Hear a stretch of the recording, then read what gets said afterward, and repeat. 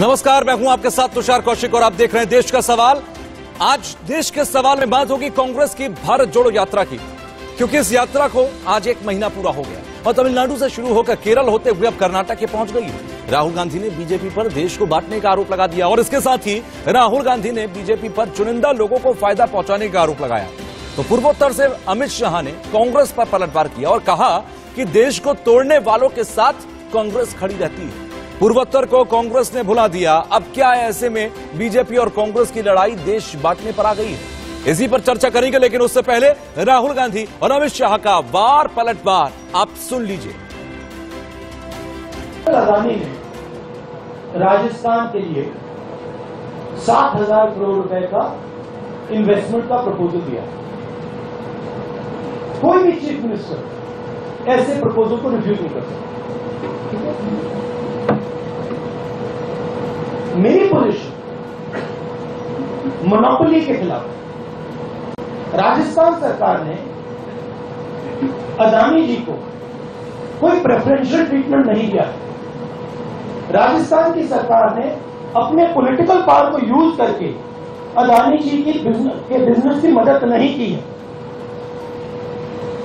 मेरा विरोध इस बात का है कि बीजेपी की सरकार दो तीन लोगों को हिंदुस्तान के सब बिजनेसेस की मोनोपोलिस्ट बना रही कांग्रेसी जहाँ पर भी बैठे हैं ना, वो सुन ले। जवाहरलाल नेहरू ने 1962 में जब चीन की लड़ाई हुई, तब कह दिया था, बाय बाय आसाम। उसके बाद से कांग्रेस वाले भूल ही गए कि उत्तर पूर्व भी कोई चीज़ है हमारा महत्व का प्रदेश। मित्रों उत्तर प्रदेश से तीन गुना ज़्यादा बड़ा भूभाग हमारे उत्तर प्रदेश में। यहाँ पर जिस प्रकार की इंसर्जेंसी जिस प्रकार का अलगाववाद हुआ था मोदी जी ने कोई भाषण करे बगैर उसमें परिवर्तन लाया। तो देश को बांटने की बात पर राहुल गांधी और अपने अमित शाह को सुना लेकिन राहुल गांधी की प्रेस कॉन्फ्रेंस में जब सावरकर पर सवाल किया गया तो राहुल गांधी क्या बोले वो भी आप सुनिए। My understanding, the RSS was helping the British. In my understanding, Savarkar used to get a stipend from the British. These are historical facts, and these are not facts that the BJP can hide. Rahul Gandhi के इन बयानों के बाद देश के सवाल कुछ हैं और देश के सवाल क्या हैं वो मैं आपको बता देता हूँ। देश पूछना चाहता है कि क्या बीजेपी देश को बांटने की राजनीति कर रखी है, जैसा राहुल गांधी कह रखी हैं। बीजेपी से क्या चुनिंदा लोगों को फ़ायदा हो रहा है? वो चुनिंदा लोग कौन है? ये भी एक बड़ा सवाल है। राहुल के लिए बीजेपी बड़ी चुनौती है या फिर कांग्रेस की एकजुटता? क्योंकि नज़र तो ये आ रहा है कि कांग्रेस दोपहर में इस वक्त है। ऐसे कई सवाल हैं जिन पर हमें चर्चा करनी है आज और जिस पर आज महाबहस होगी। हम इन सवालों का जवाब तलाशने की कोशिश करेंगे, लेकिन आज जो प्रेस कॉन्फ्रेंस के अंदर राहुल गांधी ने कहा चाहे वो सावरकर के बारे में हो चाहे वो देश को बांटने के बारे में हो बीजेपी के बारे में हो कांग्रेस की एकजुटता के बारे में हो वो बहुत ज़्यादा इंपॉर्टेंट है। मेरे साथ गेस्ट का एक सबसे बड़ा पैनल इस वक्त जुड़ा है जो कर, जो आज इस पर आ, सवाल जवाब होंगे जिनके साथ जयराम विप्लव प्रवक्ता बीजेपी मेरे साथ हैं क्योंकि बीजेपी पर आरोप यह है कि वो देश को बांटने का आ, आ, काम कर रहे हैं। तो जवाब तो देना होगा। सुरेंद्र राजपूत कांग्रेस के प्रवक्ता मेरे साथ हैं। राहुल गांधी के इस पूरे बयान पर वो और ज़्यादा क्लियर करके जवाब देते नज़र आएँगे। प्रेम कुमार मेरे साथ राजनीतिक विश्लेषक मौजूद हैं इस पैनल में। आपका भी स्वागत। Alok Mehta, editorial director ITV group हमारे साथ हैं और साथ ही साथ अजीत मंदोला भी हमारे साथ हैं रीजनल एडिटर आईटीबी नेटवर्क आपसे कुछ देर बाद हमारे साथ जुड़ेंगे। आप सभी का बहुत बहुत स्वागत है इस डिबेट में। सबसे पहले सुरेंद्र राजपूत साहब, मैं आपके पास आ रहा हूँ। हालाँकि राहुल गांधी के बयान को हम सबने सुना है, लेकिन मैं चाहता हूँ कि एक बार और स्पष्ट करके आप बता दें क्योंकि जयराम विप्लव उसके बाद फिर अपना काउंटर देंगे। उससे पहले क्लियर होना इस डिबेट के अंदर ज़रूरी है। एक बार आप स्टेटमेंट क्लियर करें। आप बताएँ ना किस किस के बारे में करूँ? राहुल गांधी जी ने तो कर्नाटक के बारे में भी बोला राहुल देश को बांटने की बात जो उन्होंने की कि बीजेपी सरकार देश को बांटने का काम कर रही है। हाँ तो निश्चित तौर पर तुषार जी, ये तो आप भी जानते होंगे कि 2014 के बाद जिस तरीके से सांप्रदायिक विभेद चल रहा है, जिस तरीके से you show me the face I will show you the rule चल रहा है, जिस तरीके से एक वर्ग लगातार जो है एक चंद चुनिंदा बिजनेसमैन एक तरफ़ बहुत ऊंचाइयों पर जा रहे हैं, जो छह नंबर के बिजनेसमैन थे, आज पूरी दुनिया में दूसरे नंबर के बिजनेसमैन हो गए और दूसरी तरफ़ हमारा देश इतना गरीब हो गया कि 80 करोड़ लोगों को भारतीय भारतीय जनता पार्टी स्वयं कहती है कि हम मुफ़्त का अनाज देते हैं। आज परसों की वर्ल्ड बैंक की रिपोर्ट थी कि पाँच करोड़ साठ लाख लोग अत्यंत गरीबी रेखा के नीचे चले गए। ये भी हिंदुस्तान में 2014 में पहली बार 2014 के बाद पहली बार हुआ है। उससे पहले तो हमने अत्यंत गरीबी की रेखा से नीचे के 28 करोड़ लोगों को ऊपर मध्यम वर्ग में लेकर के आए थे। इसके इसी इस ड्यूरेशन में आप इस चीज़ को देखें आर्थिक असमानता हो तो एक वर्ग अमीर का अमीर होता जा रहा है दूसरा वर्ग गरीब का गरीब होता जा रहा है उनसे संसाधन छीने जा रहे हैं। उनसे काम करने का हक छीना जा रहा है नोटबंदी करके उनकी कमर तोड़ी जा रही है खराब जीएसटी को लेकर के व्यापारियों को मध्यम व्यापारियों को मझोले व्यापारियों को आत्महत्या करने पे मजबूर किया जा रहा है। पहली बार हुआ है 2022 के आंकड़े में जब पूरे इतिहास के है ये मैं आपसे बताऊँ तुषार जी कि पहली बार छो, छोटा और मध्यम व्यापारी किसान और मजदूर से ज़्यादा आत्महत्या की है इसी इसी भारत में। ये मेरे आंकड़े नहीं है एनएसएसओ के आंकड़े हैं। तो जब इस तरीके का समानता हो रही तो देश को तोड़ने की तो बात कर रहे हैं। ये एक चीज़ बात हो गई। दूसरी बात आप आ जाइए कि सीमाएँ असुरक्षित हो रही हैं। आज अरुणाचल से लेकर के और लद्दाख तक जिस तरीके से चीन का एग्रेशन है सरकार उसमें दो मुही बातें करती है। इंटरनेशनली चाइना का विरोध करती है जिसमें हम साथ में हैं। लेकिन अपने घरेलू फ्रंट पर आ, आकर के कहते हैं ऑल इज़ वेल और जबकि चाइना जो है कहीं ना कहीं गाँव बना रहा है हमारे क्षेत्र में ये आप ही लोग दिखाते हैं। तो जिस तरीके से आर्थिक असमानता सांप्रदायिक विभेद तब भी और जब, आर्थिक जब सीमा पर सुरक्षा चल रही है तो भारतीय जनता पार्टी तोड़ने का ही तो काम कर रही हम्म, नहीं हम तो सब कुछ दिखाते हैं। वो तो कोई बड़ी बात नहीं है। जयराम विप्लव इस पर जवाब दीजिए। देखिए राहुल गांधी जी तुषार जी देख लीजिएगा कहाँ तक वापस जाता है। तुषार जी पहले शांति से थोड़ा मैं बोल सोच के बोलिए। नहीं तो सुरेंद्र वाजपेयी नहीं सोच के एक सेकंड एक एक सेकंड जयराम साहब जयराम साहब एक मिनट। सुरेंद्र राजपूत आपने नहीं मैं मैं। जयराम साहब आप ही के पास आ रहा हूँ मुझे एक मिनट बोलने दीजिए। सुरेंद्र राजपूत आपने कहा कि सोचकर बोलिएगा कि कितना पीछे गए क्या आपको देश की सेना पर यकीन नहीं है? नहीं मुझे तो यकीन है कि देश की सेना के हवाले से मुझे जानकारी मिली कि चीन पीछे हट रहा है। उनकी डिप्लोमेसी के आधार पर उनकी शौर्यता के आधार पर मुझे तो भरोसा है। आपको नहीं है? हाँ हाँ हाँ। मुझे सेना पर सबको भरोसा है। भाजपा सेना के पीछे छुपती है शिखंडी की तरीके से। हमें उस पर भरोसा चलिए।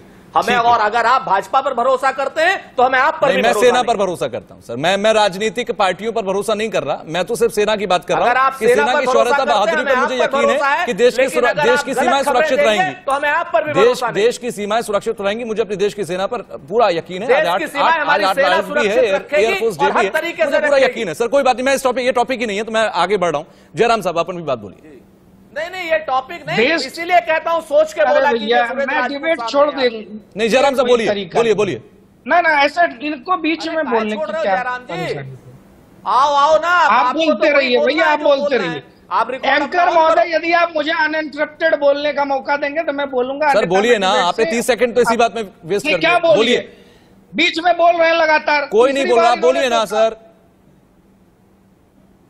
अब सुनिए। आज सबसे पहले तो देश को वायुसेना दिवस की बधाई। देश की सीमाएँ सुरक्षित हैं और देश के जनता का भरोसा भाजपा पर भी बना हुआ है, मोदी जी पर भी बना हुआ है और देश की सेना पर तो आज़ादी के समय से और उससे पहले से लेकिन सेना को कौन लोग हैं जो सेना अध्यक्ष को गाली देते हैं? ये सारी चीज़ें देश और दुनिया ने देखी। और जनता को विश्वास और भरोसा उसी पर होता है जिससे उम्मीद होती है। राहुल गांधी जी की अपनी समझ है, क्योंकि उन्होंने चाटुकारों के लिखे इतिहास को पढ़ा होगा, चारणों के लिखे गीत सुने होंगे जो सत्ता के साथ ही चलते हैं। केवल सत्ता के गुण गाए जाते हैं। आज भी उन्होंने केवल दो लोगों का नाम लिया। उनके लिए दो लोग ही आज़ादी की लड़ाई लड़े होंगे। आज़ादी के इस अमृत महोत्सव काल में पूरी दुनिया ने देखा, पूरे भारत ने देखा कि करोड़ों करोड़ लोगों के बलिदान, संघर्ष, त्याग और तपस्या का परिणाम था कि भारत आज़ाद हुआ। उसमें राष्ट्रीय स्वयंसेवक संघ के स्वयंसेवक भी शामिल थे। हमारे संस्थापक डॉक्टर हेडगेवार जब कलकत्ता में पढ़ाई कर रहे थे, उस दौरान अनुशीलन समिति से जुड़े थे। और एक और ऐतिहासिक तत्व राहुल गांधी जी को बता दूँ, उनको जानकर बड़ी खुशी होगी कि 19 जुलाई 1921 से 19 जुलाई 1921 से 11 जुलाई 1922 तक जेल काटकर जब नागपुर लौटे डॉक्टर हेडगेवार तो एक स्वागत समारोह किया गया था। उसमें कांग्रेस के तत्कालीन बड़े नेता मोतीलाल नेहरू जी उपस्थित थे, सी राजगोपालाचारी जी उनका अभिनंदन करने पहुँचे थे, और 1942 का आंदोलन हो या असहयोग आंदोलन हो, डॉक्टर हेडगेवार ने अपने स्वयंसेवकों को संघर्ष में शामिल करने की खुली छूट दी थी, उनको इसका आग्रह किया था। और 1930 में जब पूर्ण स्वराज्य का आह्वान कांग्रेस के अधिवेशन में हुआ, तब भी सारी शाखाओं में स्वतंत्रता दिवस मनाया गया था। तो हमें आपसे सर्टिफिकेट नहीं चाहिए। अब आते हैं दूसरे सवाल पर। दो उद्योगपतियों की बात होती है। मैं पहली बार देख रहा हूँ देश में कि राजनीतिक विरोध करते करते अपने देश के ही नागरिकों का विरोध अपने देश के उद्योगपतियों का विरोध। क्या वो टैक्स नहीं देते? हैं क्या वो हमारे देश के नागरिकों को रोज़गार नहीं देते? चलिए, मान लिया आपकी बात। तो आज सवाल राहुल गांधी जी आपसे है। कितने लाख करोड़, कितने हज़ार करोड़ या कितने सैकड़ों करोड़ आपकी जेब में गए? या आपने अंबानी जी की, अडानी जी की जेब में डाल दिए? जो आज इन्वेस्टमेंट समिट की तस्वीरें आ रही है, ऐसी तस्वीरें जब प्रधानमंत्री जी के साथ किसी वैश्विक मंच पर आती है या भारत के अन्य राज्यों के इन्वेस्टमेंट समिट से आती है तो आप कहते हैं, मोदी जी, अपने दोस्तों की जेब में पैसा डाल रहे हैं। तो आप कितना पैसा डाल रहे हैं राजस्थान में? क्या राजस्थान बिक गया? क्या राजस्थान को हम अडानी जी ने खरीद लिया? क्या ये वही सारी चीज़ें जो आप भाजपा से पूछते हैं? तो जब लाठी खुद के ऊपर पड़ती है तो राहुल गांधी जी और कांग्रेस के सुर बदल जाते हैं। आपका यह दोहरा मापदंड जनता समझ चुकी है और बात जो भरोसे की थी जनता का भरोसा भाजपा पर मोदी जी पर कायम है।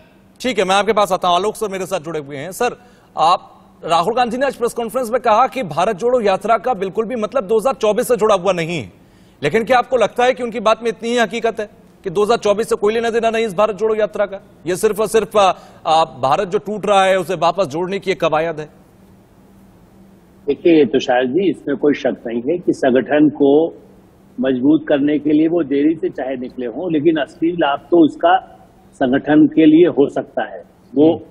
कितना होगा ये हम नहीं तय कर सकते ना हम भविष्यवाणी करेंगे। हम और आप हम्म। कोई राजनीति के लोग नहीं है इसलिए बात में कहूँगा। बिल्कुल। एक ही अच्छा प्रयास है बल्कि पद यात्रा है पहले चंद्रशेखर जी ने की मैं तो ये मानता था कि जैसे कई जगह लेकिन आयोजक चूँकि अब वेणुगोपाल जी या जयराम रमेश ऐसे सलाहकार हैं वरना पहले जिस तरह से इंदिरा जी भी जाती थी, इतनी लंबी यात्राएँ तो नहीं की उन्होंने, लेकिन कांग्रेस के लोग भी जब यात्रा करते थे तो गाँव में वहीं जाके रहना बड़े बड़े जैसे कहते हैं कि कंटेनर लगा करके जो आधुनिकीकरण है तो चलिए, उस पर हम नहीं जा रहे, लेकिन वो काफ़ी लोगों से मिल रहे हैं, और उससे एक कांग्रेस को मज़बूत करने से ये कहना उनका ठीक है।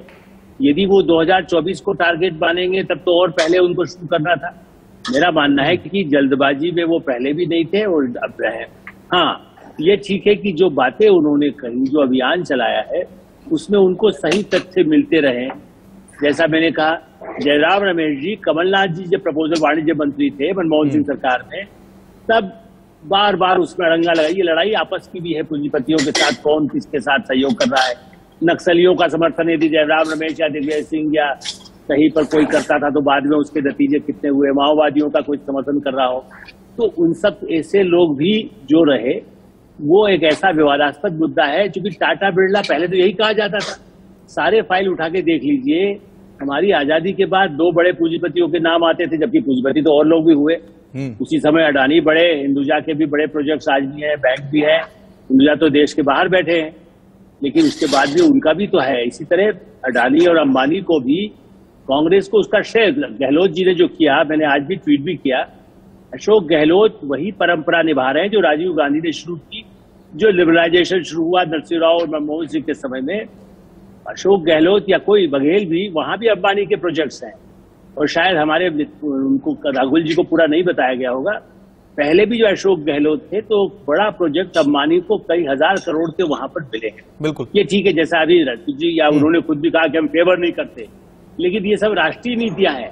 देखिए हम्म। उद्योग में कोई विदेश की जर्मन की कंपनी आएगी जापान की आएगी इंडिया की आएगी वो कोई राज्य ऐसा नहीं कर सकता। ज़्यादा ज़्यादा ज़मीन देने में कितनी ज़मीन जिसके पास उपलब्ध वो देगा वहाँ के लोकल पानी देने के लिए क्या रेट चलता है बिजली का क्या रेट चलता है वो लेकिन ये कहना कि ये सब देश के दुश्मन हैं या ये इनको खास फेवर हो रहा है मुझे लगता है इसलिए चूँकि वो तो मनमोहन सिंह सरकार में रहे आज भी कई चिदम्बरम भी उनके मंत्री रहे सब जानते चिदम्बरम जी वो रात को 12 बजे कैसे अनिल अंबानी क्या मिलते थे?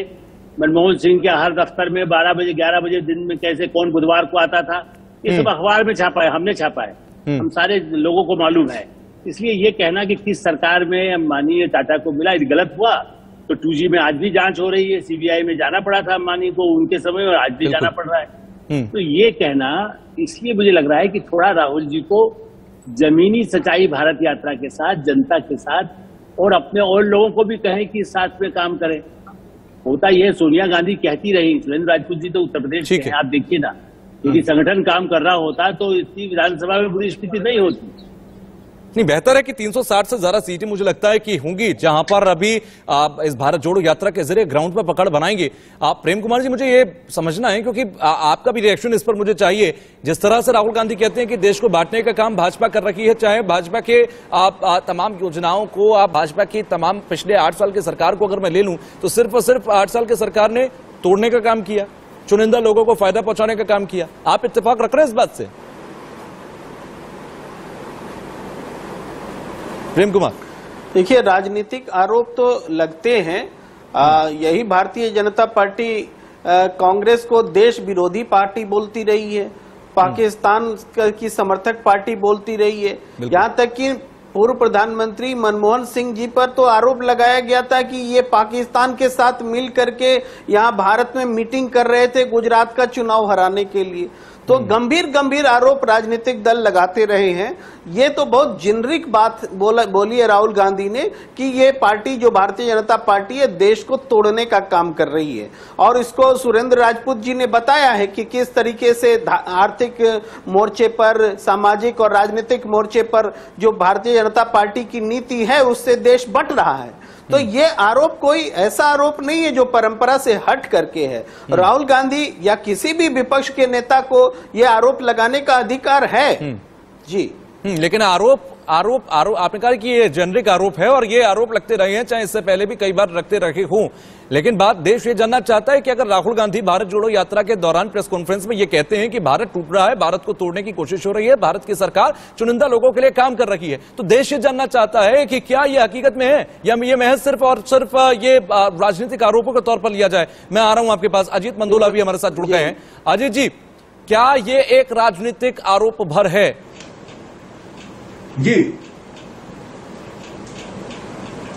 हाँ बिल्कुल देखिए राजनीति में ये तो अगर आरोप नहीं लगाएँगे या अपने मुद्दे नहीं रखेंगे तो फिर राजनीति किस बात की है? राहुल गांधी और कांग्रेस का ये मानना है कि जो आज देश में हालात बने हैं जो सांप्रदायिकरण हो रहा है देश का ध्रुवीकरण हो रहा है वो कहीं ना कहीं देश को बांटने का काम कर रहा है। हिंदू, मुस्लिम की बात होती है। अभी किसी भी राज्य में, राजस्थान में तमाम तरह के दंगे हुए कराने की कोशिश की गई या कर्नाटक में भी कल परसों घटना घटी है तो कांग्रेस का ये मानना है कि जो बीजेपी का जो सबसे बड़ा सशक्त हथियार है, वो हिंदुत्व। और हिंदुत्व के साथ वो जब सांप्रदायिक की बात करती है, उसका ध्रुवीकरण होता है। ध्रुवीकरण होने से देश दो हिस्सों में बढ़ जाता है। ये कांग्रेस बराबर आरोप लगाती रही है आज से नहीं काफ़ी लंबे समय से कांग्रेस इसी को लेकर राजनीति कर रही है। और कहीं ना कहीं कांग्रेस के लिए इससे नुकसान हो रहा है पता नहीं क्यों नहीं कांग्रेस के नेता इस बात को समझ रहे हैं कि ये आ, एक बीजेपी यही चाहती है कि हम लोग एक जो जाल फेंक रहे हैं उसमें कांग्रेस उलझ जाए और कांग्रेस उसमें उलझ जाती। है आज राहुल गांधी ने सावरकर का नाम लिया उसी को लेकर ये इशू उठ गया है। लेकिन राहुल गांधी ने जो कुछ बोला उसमें बहुत ज़्यादा ऐसा कुछ नई बात नहीं थी। जो परंपरागत वो बोलते आ रहे हैं वही बात थी। आज एक नई बात सिर्फ़ इतनी थी कि राजस्थान में कल जो अडानी जी के साथ फ़ोटो मुख्यमंत्री का आया उसको लेकर तमाम तरह के सवाल उठे। तो राहुल गांधी ने साफ़ कहा कि भाई देखिए अगर वहाँ कोई गलत तरीके से उनको कुछ दिया जाता तो मैं उसका विरोध करूँगा। लेकिन अगर नियमानुसार जो सिस्टम है सिस्टम से अगर काम हो रहा है तो मुझे कोई एतराज़ नहीं है। उद्योगपति अडानी हो या दूसरे हो एक तरीके से उन्होंने ये क्लियर करने की कोशिश करी कि जो भारत सरकार है वो गलत तरीके से इनको काम दे रही है और हम अगर काम कर रहे हैं तो गलत तरीके से काम नहीं हो रहा है। उनको एक व्यवस्था के तहत उनको निवेश के लिए कहा गया है। उन्होंने राज्य सरकार ने कोई ऐसा उनके लिए गलत ढंग से कोई नीति नहीं बनाई कि जो उनको गलत ऑबलाइज किया गया हो। तो ये आज जो राहुल गांधी का जो प्रेस कॉन्फ्रेंस ये एक सदी प्रेस कॉन्फ्रेंस है और उनको यही बोलना है और ये देखिए तीन सौ बहत्तर सीटें हैं जहाँ पर वो यात्रा करेंगे कन्याकुमारी से कश्मीर तक की। लोकसभा की तीन सौ बहत्तर सीटों का मतलब आप समझिए कि एक मतलब एक बड़ा हिस्सा है और ये कहना कि राजनीति के लिए नहीं हो रही है चुनाव के लिए नहीं हो रही मैं नहीं मानता हूँ। तो ये राजनीति तो चुनाव के लिए हो रहा है तमाम राज्यों में जो नेता है यात्रा निकालते हैं चुनाव के साल में और कहीं ना कहीं उनको लाभ मिलता है। तो अब यही कांग्रेस के लिए बड़ी परीक्षा है कि राहुल गांधी क्या कांग्रेस को फिर से उस स्थिति में ला सकते हैं कि जहाँ कांग्रेस बहुत नीचे चली गई है, थोड़ा उसे उभार लें? जी। हम्म। सुरेंद्र राजपूत साहब, परिवारवाद और वंशवाद से हमारी लड़ाई है, ये अमित शाह ने आज कहा। आज एक सवाल किया गया प्रेस कॉन्फ्रेंस के अंदर कि जो कांग्रेस के अध्यक्ष का चुनाव है, ये निष्पक्ष तौर पर हो रहा है? गांधी परिवार से इसका कोई लेना देना नहीं है कि कोई भी चुनाव लड़ सकता है, और वो तमाम बातें हुई, आपने भी सुनी होंगी। लेकिन ये आरोप क्यों लग रहा है? बार बार कि अध्यक्ष की कुर्सी पर उसी को बिठाया जा रहा है जो गांधी परिवार के इशारे पर रहेगा। जो लोग इस आरोप को लगा रहे हैं कि गांधी परिवार के इशारे पर जो रहेगा अध्यक्ष होगा वो कांग्रेस के भी दुश्मन है शशि थरूर के भी दुश्मन है और कहीं ना कहीं मल्लिकार्जुन खड़गे साहब के भी दुश्मन हैं। बहुत स्पष्ट रूप से पारदर्शी तरीके से चुनाव हो रहा है। गांधी परिवार हमारी ताकत है। गांधी परिवार हमारे सीमेंटिंग फोर्स है। परिवारवाद को हम मानते हैं, वंशवाद को भी हम मानते हैं। और वंशवाद को और परिवारवाद को वो भाजपा वाले भी मानते हैं जिनके परिवार हैं। जिनके परिवार है ही नहीं तो वो अपना कुछ भी कहते रहे। आज की डेट में अमित शाह के बेटे की कौन सी एक खासियत मुझे बता दीजिए कि वो बीसीसीआई का अध्यक्ष है? कोई एक खासियत बता दीजिए जय शाह साहब की सिवाय इस चीज़ के कि वो शाहजादे हैं। शाहजादे के अलावा अगर उनकी कोई एक खासियत हो तो हमें बता दीजिए। भाई वो कोई व्यापारी हो या उन्होंने कहीं किसी क्रिकेट एसोसिएशन के अध्यक्ष रहे हों या उन्होंने खेल में कुछ किया हो जैसे पहले अध्यक्ष चाहे जगमोहन डालमिया बनते थे चाहे और कोई बनते थे किसी को भी आप उठा लीजिए। तो उनकी अगर कोई हो परिवारवाद जिनके पास परिवार है वो परिवारवाद करते हैं एक बात। दूसरी बात हम बता दें परिवारवाद हिंदुस्तान की एक परंपरा का हिस्सा है। इसमें कहीं कोई दो राय नहीं है। हमें तो खुशी है जिसको नहीं खुशी है जयराम विप्लव साहब पार्टी को नहीं खुशी है तो राजनाथ सिंह के लड़के को भी सैक कर दे अमित शाह के लड़के को भी सैक कर दे। हम मान जाएँगे। आप यहाँ पर प्रश्न ये नहीं है क्योंकि अमित शाह जी प्रश्नों से भाग रहे हैं। हमारे प्रश्न क्या है और देश के प्रश्न क्या है? जैसे आप कह रहे हैं देश पूछता है तो देश आज महँगाई के बारे में अगर नहीं पूछ रहा हो तो आप अपने दिल पर हाथ रख के बता दीजिए तुषार साहब कि महँगाई नहीं है। आप बता दीजिए बेरोजगारी नहीं है। इन सवालों के जवाब सत्ता को देने होंगे। हम लोग कुछ भी बोलें लेकिन जनता जो बोलेगी उसके बारे में तो आप बोलेंगे ना। अग्निवीरों को आप संविदा पे रख रहे हैं। पूरे देश के रिसोर्सेज को आपने बेच दिया है। पूरे देश को रिसोर्सेज को बेचने के बाद आप इतिहास पे आ जाते हैं और आप कहने लगते हैं कि हमने तो वहाँ पर किया यहाँ पर। एक बात खाली जयराम विप्लव जी जान लीजिए हेगड़ेवार जी जब जेल में गए थे वो कांग्रेस के सदस्य थे जिला नाम पहले जान लीजिए उनका। तो उस वक्त हेगड़ेवार पहले नाम जान लीजिए। और सुन लीजिए और वहाँ पर और, और एक चीज़ और समझ लीजिए। अरे ठीक है ठीक है जयराम साहब। एंटोनियो माइनो जो जो जो भी था वो क्या नाम भाषा की अरे नहीं, एंटोनियो जो भी- ठीक है सुरेंद्र राजपूत बोलिए आप अपनी बात को कंप्लीट करिए। जयराम साहब मैं आपके पास आ रहा हूँ। जयराम साहब मैं इसके बाद आऊँगा आप आराम से करेक्ट कर लेना। ठीक है प्रोनाउंसिएशन को आप करेक्ट कर लेना कोई तो दिक्कत नहीं। है वो- उस- सुरेंद्र साहब, आप- बात नहीं कर लीजिए। कांग्रेस के सदस्य थे ठीक है? और और एक चीज़ और समझ लीजिए आप। नहीं ले इतिहास इतिहास में भारतीय जनता पार्टी आरएसएस और संघ तीनों दागी हैं तीनों अंग्रेज़ों के दलाल हैं और तीनों ने ही अंग्रेज़ों की मदद की थी। ठीक है, जयराम साहब जवाब दीजिए। पार्टी ने भी जनसंघ ने भी और सुन आरएसएस ने भी। दलाल कौन था मैं बताता हूँ। उन्नीस सौ साठ रुपए की पेंशन ठीक है सुरेंद्र साहब आपने बड़ा आरोप लगा दिया ना। आरएसएस पीएफआई सब एक जैसे आप बता रहे हैं। उन्नीस सौ नहीं, सैतालीस मैंने नाम ले लिया गलत बात नहीं नहीं आपके पुराने आपके पुराने साथी आपके पुराने साथी कांग्रेस और तमाम इस तरीके के तो बयान आते रहे। मैं आपके आपने नहीं कहा मैं मैं आपने नहीं कहा मैं आपने मैं आपका नाम नहीं ले रहा हूँ। PFI का नाम नहीं मैंने लिया। आपका नाम नहीं लिया। मैंने कहा कि कांग्रेस की तरफ़ से आपके दूसरे साथी इस तरीके की बातें करते रहे। इसलिए मैंने जयराम साहब से जवाब दिया लिया। हैं। कोई बात जो भी कहते हो अपनी जगह पर आज इस बहस पर रही है पीएफआई का नाम अभी तक ठीक है मैं संगठन की बात कर रहा हूँ आरएसएस की बात कर रहा हूँ। आरएसएस के परिप्रेक्ष्य में ही उन्होंने जवाब दिया था इसलिए। चलिए जयराम साहब बोलिए। देखिए 1947 में भारत विभाजन के प्रस्ताव को स्वीकार करके भारत माँ के दो टुकड़े करने वाली पार्टी कौन थी? कांग्रेस। किस लिए किया? सत्ता के लिए। सावरकर। गांधी डॉक्टर फिर बीच में बोल रहे ठीक है, सुन लीजिए सुरेंद्र साहब। ये तीनों बोल रहे थे मैं रोक रहा था उनको बोलने से। अब आप सुनिए तो गलत बात बोलेंगे तो सुरेंद्र राजपूत, आप सुनिए। नहीं। बोलेंगे ठीक है, तो कोई बात नहीं। बात पर नहीं बोलेंगे। ठीक है, तो दूसरा गलती कर रहा है तो आप तो गलती करके उसकी गलती को मत तो छिपाइए ना। गलती कर रहे धन्यवाद धन्यवाद। ठीक है। सुरेंद्र साहब नहीं, नहीं, सुनिए। ये तो इतिहास वक्त जाया मत करिए आप दोनों वक्त जाया मत करिए प्लीज़ प्लीज़ सुरेंद्र साहब आप सीनियर पैनलिस्ट हैं आप आप रुकिए। नहीं, जयराम साहब बोलिए नहीं नहीं आप चुप आप आप बोल भी नहीं सकते क्योंकि आप जितना बोल रहे हैं जयराम विप्लव जी झूठ बोल रहे हैं। अगर आप इसी सच बोलिए। डिबेट करवा ठीक है, कहिए राजपूत, भारतीय सुरेंद्र सेना में राजपूत, सुरेंद्र अंग्रेज़ों राजपूत, की ठीक। सेना में क्या नाम इनको सुभाष चंद्र बोस को मरवाने के लिए आप है, राजपूत। हिंदुओं की भर्ती कराई थी वीर सावरकर अरे भैया, राजपूत जी बस बस बस। ठीक है जयराम साहब बोलिए। जयराम साहब बोलिए। भारत की आज भारत माता के सीने पर दो टुकड़े करने वाले उस पर प्रहार करने वाली कांग्रेस पार्टी थी। और आज भी राहुल गांधी जी को केवल दो नाम पता चले। जनसंघ। उनको सरदार पटेल याद नहीं आया उनको सुभाष चंद्र बोस याद नहीं आया और बहुत बड़ी बड़ी बातें कर रहे हैं ना। मुद्दे किनारे उनके प्रवक्ता। वो सब हमारे नेता थे हमारे हमारे आदरणीय। अब ये तरीका तो वो सब है हमारे नेता थे और आप लोगों को लठ मारते थे। सुभाष चंद्र बोस अरे आपको शर्म आती थी। सुभाष चंद्र बोस सुभाष चंद्र सुभाष चंद्र बोस का नाम लेते सत्तर सालों में शर्म आई। सरदार पटेल का नाम लेने में शर्म आई। सुभाष चंद्र बोस प्रसाद मुखर्जी का नाम लेने में शर्म आई। अरे चुप करो अंग्रेज़ के दलालों। बोस जी ने आलू बुखारा खाकर अंग्रेज़ एक कांग्रेसी का नाम बताओ।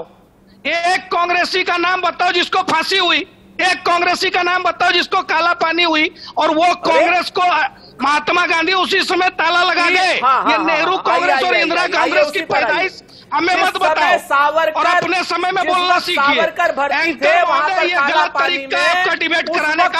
आपने इनको पूरा अवसर दिया और मेरे बीच में ये लगातार बोल रहे हैं। अरे आप ही ने तो सवाल किया जयराम विप्लव। ना ना। आप ही ने तो सवाल किया कि एक कांग्रेसी का नाम बताइए अब बता रहे तो आप एंकर महोदय को कोस रहे हैं। अरे आप ही ने तो सवाल किया है। आपने तो कहा बोले।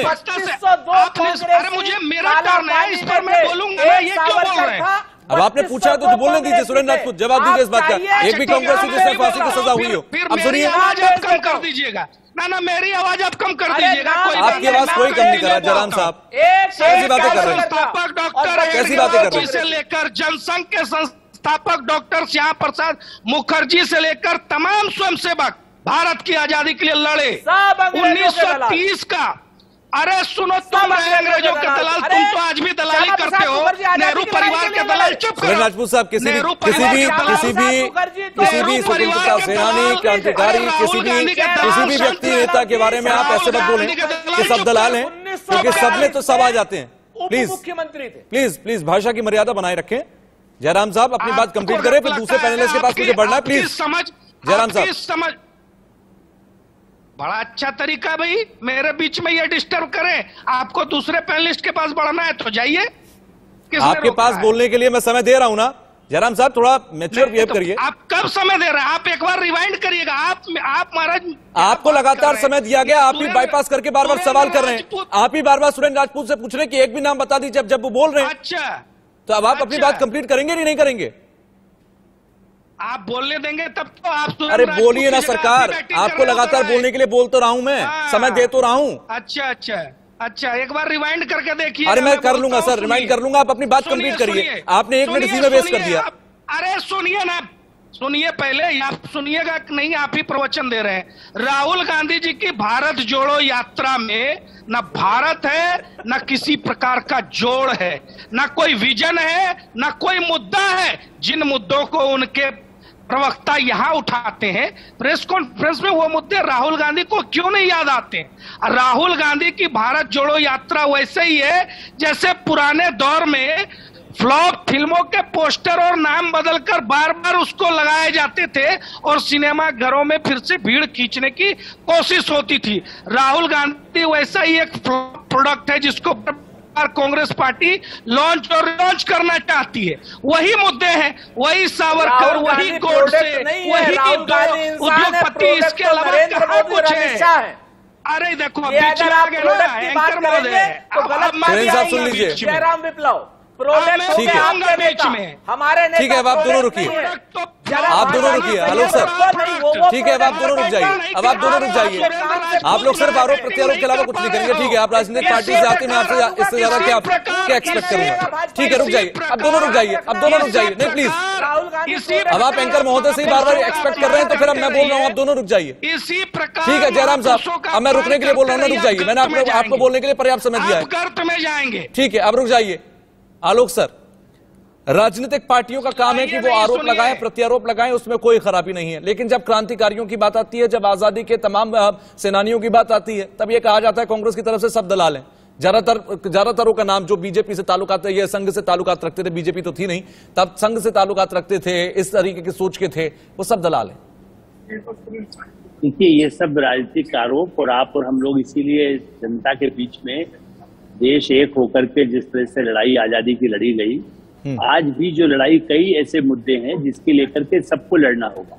जी। देखिए हम इस पे बात नहीं जाते। राहुल गांधी जिस बात को कह रहे हैं सत्रह राज्यों में आज भी गैर भाजपा सरकार है। आप ऐसा मत समझिए कि देश भर को बर्बाद होगा देश कैसे? उन राज्यों में क्या हो रहा है? क्या ममता बनर्जी कुछ काम नहीं कर रही हैं? क्या केसीआर या जिस तरह से रेड्डी वहाँ पर काम कर रहे हैं कि नहीं कर रहे हैं? केरल में क्या हो रहा है? तो मुझे लगता है कि राहुल गांधी जिस ढंग से घूम रहे हैं, वो एक राजनीतिक के जो बयान देते हैं, उसकी राजनीतिक निहितार्थ उनकी पार्टी के लिए एक एजेंडा हो सकता है। और इसलिए बार बार यही इतिहास में कौन रहा था, नहीं रहा था, इतिहास पढ़ने के लिए पुस्तकें हैं। जब उस राज में पुस्तक आई हो या आज के राज में पुस्तकों में यदि सही इतिहासकार लिख करके उसको बदल रहे हो, हम उस पर नहीं जाते। आज जनता क्या जानना चाहती हाँ? महँगाई यदि समस्या है। सारी दुनिया में क्या स्थिति है? वर्ल्ड बैंक की रिपोर्ट आई है तो भारत के मुकाबले में दूसरे देशों की क्या स्थितियाँ हैं? हम्म। मुझे लगता है कि उसमें कैसे ऐसी समस्याओं में मिल के लड़ना चाहिए? संसद से भी अपेक्षा है। Exactly. संसद का सत्र अगले महीने शुरू होने वाला है फिर से नवंबर में। मेरा ऐसा मानना है कि जब राहुल जी कहते हैं कि भाई देखिए वहाँ कोई बोलने जब भी पिछली बार भी उनके रंजन चौधरी या चिदम्बरम और सारे नेता भाषण किए हैं लोकसभा राज्यसभा तो उन मुद्दों पर चर्चा होनी चाहिए जहाँ उन सरकारों को भी काम करना है। आप ही बताइए बेरोजगारी है तो राजस्थान के पूरे पेज के विज्ञापन है आज हम लोगों के यहाँ भी सब जगह है। हम्म। वहाँ पर काम यदि मिला है तो क्या वो देश का हिस्सा नहीं है? यदि छत्तीसगढ़ में जो पहले भी आदिवासियों का विकास हो रहा था यदि वहाँ आगे हुआ है तो क्या वो विकास में नहीं माना जाएगा? यदि बंगाल में भी यदि कुछ काम हुआ है तो उसको नहीं माना जाएगा? देश के कुछ ऐसे मुद्दे हैं जब मुख्यमंत्रियों की बैठक आज जैसे नॉर्थ ईस्ट की बात कर रहे हैं। देखिए मैं भी नॉर्थ ईस्ट जाता रहा हूँ पचास पचास वर्षों में। आज नॉर्थ ईस्ट कितना बदला है इस पर गौरव होना चाहिए। हम्म। आज अरुणाचल जिस तरह की स्थिति में आ गया कितनी प्रगति की है आज उसके हमारे देश के कानून मंत्री वहाँ के हैं ये गौरव की बात होनी चाहिए। तो मुझे ऐसा लगता है कि ऐसे मुद्दों पर जनता को इतना निराश न करें कि देखिए लेफ़्ट पार्टीज़ भी करती थी चंद्रशेखर जी भी करते थे लेकिन जो ऐसी नीतियाँ थी उन्होंने भी वही नीतियों को अपनाया उसी को स्वीकार किया। यशवंत सिन्हा किसके मंत्री थे? चंद्रशेखर जी के समय मंत्री थे और बीजेपी के भी मंत्री थे। हम्म। आज वो कुछ भी बोलते हैं लेकिन काम तो वही कर रहे हैं। तो राहुल जी के साथ में जो लोग चल रहे हैं दिग्विजय सिंह जी मैंने कोई चेक करा ले उनके कितने रिलायंस को बढ़ाने में उनका कितना योगदान रहा? हम्म। और उनकी पार्टी को कितना रिलायंस या ऐसे बिरला जी से कितना सहयोग मिला? हम्म। मैं तो बिरला समूह में जो संस्थान है मीडिया का उसमें भी काम किया हूँ। तो मैं जानता हूँ कि उस समय भी पार्टियाँ यदि उनका सहयोग लेती रही आज उन मुद्दों को जनता को ये भ्रमित करें कि इंडस्ट्री नहीं लगे क्या? हम्म। ये सब देश के लोग बीच में ऐसा समय आया था तुषार जी और हमारे मित्रों को हमारे दर्शकों को मालूम होना चाहिए जब बड़े पूंजीपतियों को विदेशी विदेशी लोग ये कह रहे थे ब्रिटेन और अमेरिका में पैसा लगा दीजिए। आज भी ब्रिटेन आज झोली लिए खड़ा हुआ है भारत के लिए। हम्म। और ऐसे समय में यदि आप ये कहेंगे कि यहाँ के पूंजीपतियों को बहुत फ़ायदा हो रहा है तो और विदेशियों को लाने में कोई आपत्ति नहीं है। हम्म। ये ये, किस तरह की बातें हैं? विदेशी मल्टीनेशनल कंपनी आती है उनका साथ कमलनाथ जी हो या प्रणब मुखर्जी थे एनडी तिवारी थे उसी समय तो ये सब उद्योगीकरण और विकास शुरू हुआ है। इन्हीं पूंजीपतियों को जब कुछ भी नहीं थे साधारण पेट्रोल बेचते थे अंबानी तो। कांग्रेस से तब तो बीजेपी तो आई अभी है भाई। जब भी आई है दो हज़ार पंचानवे अंठानवे सत्तानवे के बाद आई है। जी। उसके पहले तो जो सरकारें रही उसी ने अंबानी को बनाया उसी ने अडानी को बनाया उसी ने बिरला को बनाया। तो आप गाली दे दे करके राहुल गांधी अपने ही इतिहास दामन में छेद तो को काला करने की कोशिश कर रहे हैं। बिल्कुल और सरकार की और सत्ता की मलाई तो सभी ने चाटी दामन में छेद सबके हैं। सुरेंद्र साहब आप अपना जवाब दे दीजिए आप कुछ बोलना चाह रहे तो उसके बाद मैं प्रेम कुमार के पास जाऊँगा। अ, मैं आलोक जी चूँकि हमारे वरिष्ठ हैं और हम सब लोग इनको पढ़ करके बड़े हुए हैं तो मैं इनको याद दिला देता हूँ कि भारत सरकार में कांग्रेस की कभी भी नीति ऐसी नहीं थी कि उसमें उद्योगपतियों की जगह नहीं है। नियमानुसार उद्योगपतियों की जगह उद्योग और हैवी उद्योग लगाने में कांग्रेस ने हमेशा मदद की है। लेकिन आज तक क्या आलोक मेहता जी अपनी याद में कोई एक ऐसा प्रधानमंत्री बता सकते हैं नरेंद्र मोदी जी के अलावा, जिसके पीठ पर किसी उद्योगपति ने हाथ रखने की हिमाकत या हिम्मत की हो? एक कोई बता दीजिए स्ट्रांस जवाहरलाल नेहरू जी बता दीजिए राजीव गांधी जी बता दीजिए क्या? नाम लाल बहादुर शास्त्री साहब बता दीजिए करते पीवी नरसिम्हा राव बता दीजिए नेहरू जी की अगर मुकेश। अंबानी का। एक आप एक नाम बता दीजिए इवन अटल बिहारी वाजपेयी जी बता दीजिए दस फीट दूर से सलाम करते थे। ठीक है। दस फीट दूर से हम उद्योगपतियों के समर्थन में हैं लेकिन उद्योगपतियों को सर पे बैठाने के समर्थन में नहीं है आलोक मेहता जी ठीक है। अरे, जयराम साहब रुक जाइए। जयराम- जयराम- जयराम जी रुक जाइए। अरे, जयराम साहब रुक जाइए। मैं आपसे बात नहीं कर रहा हूँ। सर पे बिठाने मैं आपसे बात नहीं कर रहा हूँ मैं आलोक मेहता जी से बात कर रहा हूँ। मैं भी आलोक मेहता आलोक सर बोलिए ठीक है सुरेन जी सुरेन जी आपका सवाल हो गया। ठीक है। जयराम साहब जयराम साहब रुक जाइए। जयराम साहब रुक जाइए फिर आप कहेंगे कि आपको बोलने का वक्त नहीं मिलता। तुम्हारा खानदान है फिर आप मुझे कहेंगे कि मैं आपको रोक आपको रोक रहा हूँ। अरे आप बीच में तो मत बोलिए ना साहब रोकना पड़ेगा आपको जयराम साहब। रुक जाइए जयराम साहब रुक जाइए। दलाल तुम्हारा खानदान है। अच्छा लगा ना। अरे रुक जाइए। निजी। आक्षेप नहीं। अच्छा लगा ना। पर्सनल अटैक नहीं प्लीज़ ठीक है। आलोक सर बोलिए मैं अजीत जी फिर आपके पास भी आ रहा हूँ। तुम्हारा ठीक है आलोक सर आलोक सर समय की कमी है मेरे पास। अरे रुक जाइए समय की समय की कमी है मेरे पास। प्लीज़ रुक जाइए।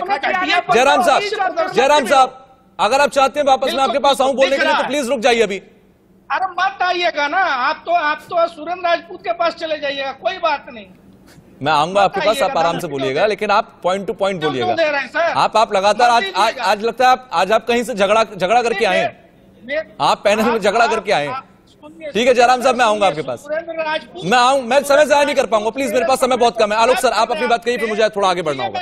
अजीत देखिए राजपूत जी। आलोक सर। राज, राज, राजपूत जी ने एक सवाल किया इसलिए मैं? चाली कहना चाह रहा था। अभी मैं यहाँ नाम लेना तो ठीक नहीं होगा लेकिन मनमोहन सिंह जी एकमात्र ऐसे प्रधानमंत्री थे जो कभी एक चुनाव लोकसभा का नहीं लड़े, विधानसभा का नहीं लड़े, पंचायत का नहीं लड़े। उनको पूंजीपतियों का इतना हाथ था, मैं बाद में फ़ोन पर कभी राजपूत जी को बता दूँगा। 96 में नरसिंह राव जी ने कहा, कौन हो सकता है? तो जिन पूंजीपति ने बताया मुझे, जो देश के नहीं, दुनिया के बड़े उद्योगपति हैं, उन्होंने तय किया था कि मनमोहन सिंह को बनाना और वो लगातार बनाने के लिए कोशिश करते रहे। और मनमोहन सिंह इसीलिए उनको कितना क्या क्या लाभ दिया, ये भी मेरे पास डिटेल्स है। इसलिए ये मत कहिए मोदी जी तो उन पर- चिन्हों पर चल रहे हो उनको वही पूंजीपति उनको भी गुजरात में उद्योग लगाए हो। टाटा यदि वहाँ से छोड़ के गए हो कलकत्ता से तो वहाँ चले गए हो। लेकिन मैं उनका फेवर नहीं कर रहा हूँ। मेरा क्या उन्होंने नाम पूछा मैंने मनमोहन सिंह का नाम मैं डंके की चोट पे बता रहा हूँ। और ठीक मैंने है, जैसा आप- कहा कि मनमोहन सिंह क्या ग्यारह बजे माफ़ी चाहूँगा, सुनील साहब, मैं आपके पास आ नहीं पाऊँगा टेबल पर बैठ के बात करता था उसका नाम भी मुझसे पूछ लीजिएगा। मेरे पास मेरे पास सिर्फ़ दो मिनट है। अजीत सर पहले मैं आपके पास आ रहा हूँ। बोलिए। हाँ दीजिए बस। मैं ये कह रहा था कि अभी मैं सुरेंद्र जी को सुन रहा था कांग्रेस के प्रवक्ता हैं वो बड़ी तमाम तरह की बातें आलोक जी की बात को काट रहे थे। मैं वही हैरान हूँ कांग्रेस के लिए। मेरा मेरी हैरानी इसी बात की है। जो जयराम रमेश बैठे हैं बीजेपी के प्रवक्ता वो कांग्रेस को उलझाना चाहते हैं। जो मेन एजेंडा है उस एजेंडे से हट के जो महँगाई बेरोजगारी तमाम तरह के मुद्दे कांग्रेस उस पर ना बोल के मैं मैं खुद हैरान हूँ कि राहुल गांधी को क्या ज़रूरत पड़ी थी सावरकर के बारे में बोलने की। और फिर सुरेंद्र जी जिस तरह से उसका उनका बचाव कर रहे हैं जो मेन एजेंडा है कांग्रेस का महँगाई बेरोजगारी भ्रष्टाचार तमाम तरह का भ्रष्टाचार देश में हो रहा है जैसा नहीं कि नहीं हो रहा है। लेकिन वो दूसरे यही कांग्रेस नहीं समझ पा रही है जो मेन रिकॉर्ड स्तर पर टूट चुका है और देश इस वक्त महँगाई से जूझ रहा है और ऐसे में ऐसे मुद्दों का बात करना ऐसे मुद्दों के ज़िक्र करना मुझे लगता है कि आप कहीं ना कहीं आप, आप दूसरे मुद्दों को छिपाने बल्कि इन्हीं मुद्दों को छिपाने का काम कर रहे हैं अगर आप दूसरे मुद्दों का ज़िक्र करते हैं जनता को सीधे अपनी जेब समझ में आती है। प्रेम कुमार आखिरी में मैं आपके पास आ रहा हूँ। मुझे बताइए कि ये सारी चीज़ें क्योंकि आप राजनीतिक विश्लेषक के तौर पर हैं आपके लिए बीजेपी कांग्रेस तमाम पार्टीज़ एक जैसी ही हैं आप मुझे बताइए कि क्या देश को बांटने की बात करना। महँगाई, जिस बात का भी ज़िक्र कर रहे थे अजीत सर, महँगाई से लेकर इस वक्त कई ऐसे मुद्दे हैं बेरोजगारी और तमाम, जिन पर बात बहुत सटीक स्तर पर की जा सकती है और आम जनता के जहन में सीधे तौर पर घुस सकती है। ऐसे समय में देश को बांटने की बात करना, देश के अंदर वंशवाद, परिवारवाद की बात करना, जनता को मुझे लगता है वो ज़्यादा समझ में आएगा जो उनकी जेब में पैसा आता है।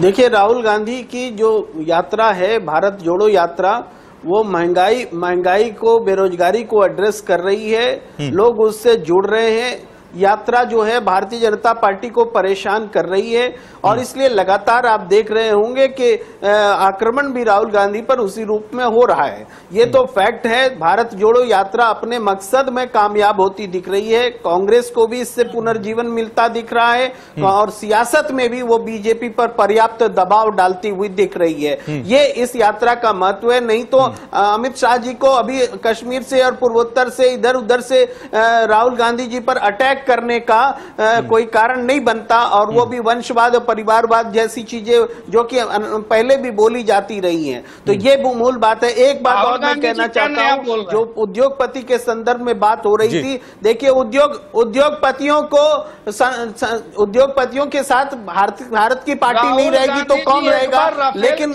ये बात जो दुनिया में सामने आती है के हमारे प्रधानमंत्री।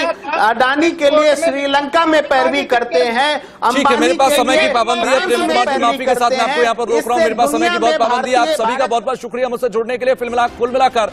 देश का सवाल में सबसे बड़ा सवाल यह है कि देश के आगे जो तमाम बड़े मुद्दे हैं महँगाई बेरोजगारी और ऐसे कई मुद्दे हैं क्योंकि रिकॉर्ड स्तर पर रुपया टूट चुका है। अब सवाल ये उठता है कि क्या इन मुद्दों को छोड़कर इस वक्त देश को देश के बांटने से लेकर परिवारवाद वंशवाद धर्मवाद इन तमाम बातों के बारे में ज़िक्र करना चाहिए। इसी के साथ देश का सवाल में बस इतना ही। आगे भी खबरों का सिलसिला जारी है। देखते रहिए नमस्कार।